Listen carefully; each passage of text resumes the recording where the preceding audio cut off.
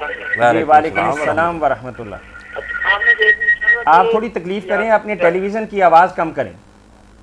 हाँ जी कम कर दिया आ, कम कर लें सवाल कर लें फिर तसल्ली से टेलीविज़न की आवाज़ ज़्यादा हाँ, करके हमें भी समझ आएगी आप भी सुन सकेंगे। जी फरमाए। सूरज यासीन जो है जी, वो जी। हम घर में पढ़ सकते हैं कि नहीं? यही सवाल है या कोई और भी करेंगे आप? हाँ यही सवाल है। यही सवाल है चलें अपने टेलीविज़न की आवाज़ ऊँची कर लें। मौलाना जवाब देते हैं आपके लिए। सूरह यासीन के बारे में पत, आपने बताया नहीं कि ये सवाल क्यों पैदा हुआ कि अपने घर में पढ़ सकते हैं? ये क्या हुआ सूरह यासीन? या दूसरी सूरतें सारा कुरान पढ़ते रहते हैं। कोई ख़ास तरीका है कि लोगों को इकट्ठे करना है या किसी ख़ास दिन पढ़ना है या किसी ख़ास तादाद में पढ़ना? कोई बात वादे हो ना कि सूरह यासीन की क्या बात पूछना चाहते हैं? वरना तो वो कुरान मजीद का हिस्सा सारा कुरान पढ़ते ही रहते हैं।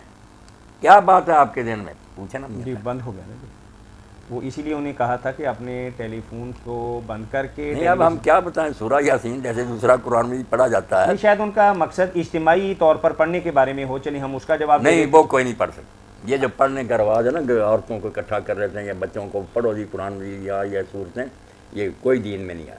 जिसने पढ़ना अपने तौर पर पढ़ता रहा। जब हम नया मकान या दुकान बनाते हैं और उसकी रेनोवेशन के बाद हम उसके अफ्ताह के लिए सबसे पहले हम यही कोशिश करते हैं कि यहाँ कुरान करीम की तिलावत कर ली जाए इज्तिमाई शक्ल के अंदर। नहीं ये नहीं चीज़ें ठीक ऐसी इज्तमाही जो है ना तिलावत उसका कोई वजूद नहीं।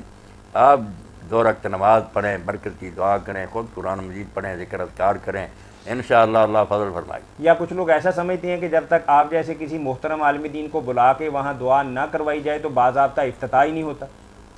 चलो ये कोई बात इतनी गलत नहीं मगर इसमें दो खराबियाँ ना।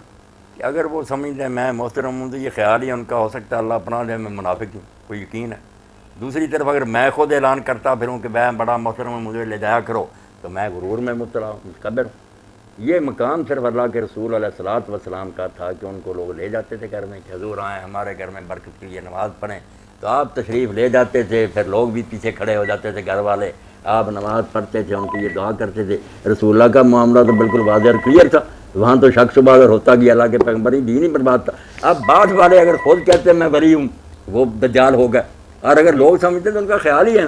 क्या पता ये वरी है या शैतान है। जी अस्सलाम वालेकुम जी आवाज़ थोड़ा ऊँचा कीजिए भाई। बात को समझना चाहिए। वालेकुम सलाम। इसीलिए हम देखते हैं किसी ने हज़रत बकर उमर का हाथ मौलाना साहब, लोग जानते थे रसूल रसूल से ये फरमाइए। सल्लल्लाहु अलैहि वसल्लम।